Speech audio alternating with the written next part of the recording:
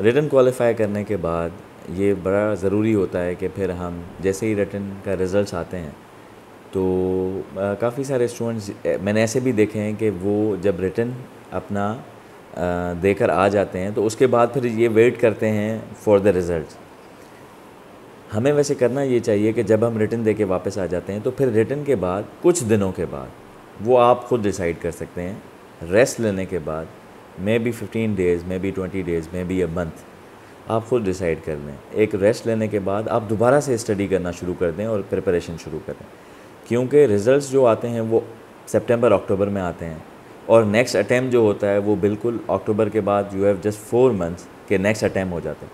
तो जब हम रिज़ल्ट के लिए वेट करते हैं और इतना सारा टाइम हमारा वेस्ट हो जाता है तो फिर हम नेक्स्ट अटैम्प्ट कंजगटिव नहीं दे पाते और फिर हमारे एक दो साल वेस्ट हो जाते हैं।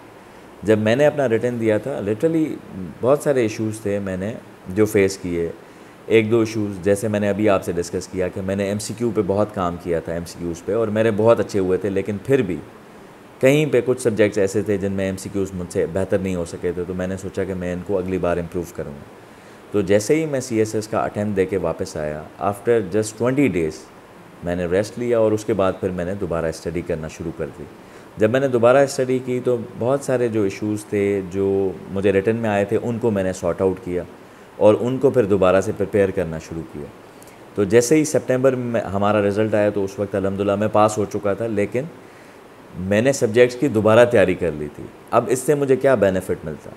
अगर मैं फ़ेल हो जाता सितंबर में तो आ, ये जो छः मंथ्स थे ये मैंने दोबारा रिटर्न की तैयारी कर ली और मैं नेक्स्ट जो अटैम्प्ट था, उसमें मैं दोबारा बैठ जाता और नेक्स्ट अटैम्प्ट दे देता। तो ये छः मंथ्स मेरे बच जाते। अब मैं अल्हम्दुलिल्लाह पहले अटैम्प्ट में पास हो गया। जब मेरा रिटर्न क्वालिफाई हुआ तो देखें इंटरव्यू में भी यही सब्जेक्ट्स हैं। आपके ऑप्शनल्स हैं और आपके कंपलसरी सब्जेक्ट्स हैं और इंटरव्यू में भी आपसे यही चीज़ें पूछी जाती हैं अगेन तो जब मैंने रिटर्न के लिए प्रिपरेशन की थी तो ये इसने मुझे बहुत हेल्प किया फॉर द इंटरव्यू क्योंकि फिर हमारे इंटरव्यू सेशन शुरू हो गए, उसमें बहुत सारी चीज़ें होती हैं, बहुत आसान होती हैं। कोई इंटरव्यू इज़ नॉट डिफ़िकल्ट बस उसमें जो चीज़ हमें, मैंने पहले आपको बताई है, जो चीज़ सबसे ज़्यादा इंपॉर्टेंट है, वो ये है कि जो हम ओपिनियन बनाते हैं सीएसएस में हमें क्रिटिकल थिंकर होना पड़ेगा। क्योंकि हमें हर चीज़ को क्रिटिकली देखना है। अपने पसंद या नापसंद होने की वजह से नहीं देखना चीज़ों को। हमने उन्हें क्रिटिकली देखना है कि आया ये जो चीज़ है, जिसको हम लाइक करते हैं, वो किस चीज़ पे बेस्ड है? ये जो मेरा ओपिनियन है फॉर एग्ज़ाम्पल मैं एक सिंपल व्यू लेता हूँ कि ये जो अभी फॉर एग्ज़ाम्पल करंट गवर्नमेंट चल रही है तो ये बहुत अच्छी है। अगर ये करंट गवर्नमेंट चल रही है, ये बहुत अच्छी है तो मेरा ओपिनियन किन चीज़ों पर होगा? मेरा ओपिनियन इन चीज़ों पर बेस्ड होगा कि देखें, ये इनके वेलफेयर प्रोजेक्ट्स हैं वन थिंग इनके वेलफेयर प्रोजेक्ट्स बड़े अच्छे हैं। वेलफेयर प्रोजेक्ट्स के अलावा फिर बाकी जो प्रोजेक्ट्स हैं, जो भी आपको सही लगते हैं, वो प्रोजेक्ट्स हैं और उनके फिर आउटकम्स मैं बता दूँगा। ताकि मेरा जो ओपिनियन होगा किसी भी गवर्नमेंट के बारे में, वो क्रिटिकली बेस्ड हो।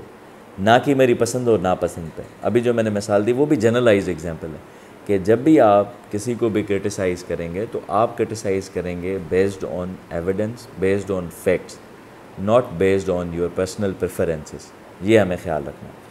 अब जब हम इंटरव्यू की प्रिपरेशन करते हैं तो इंटरव्यू में बहुत सारे क्वेश्चंस कुछ एक तो जो भी हमारे सब्जेक्ट्स हैं, वो वेल प्रिपेयर्ड होने चाहिए, क्योंकि कहीं से भी वो पूछ सकते हैं information related to that one thing second thing ये है, जब हम उन चीज़ों के बारे में पढ़ लेंगे और उन चीज़ों को समझ लेंगे तो उसके बाद जो इंपॉर्टेंट है, वो इंपॉर्टेंट ये बात है कि जो हमारे करंट सिचुएशंस हैं फॉर एग्ज़ाम्पल बहुत सारी प्रॉब्लम्स जो आ, आ, दुनिया में चल रही होती हैं वर्ल्ड में या कंट्री में चल रही होती हैं उन उन प्रॉब्लम्स का सोल्यूशन हमारे पास होना चाहिए।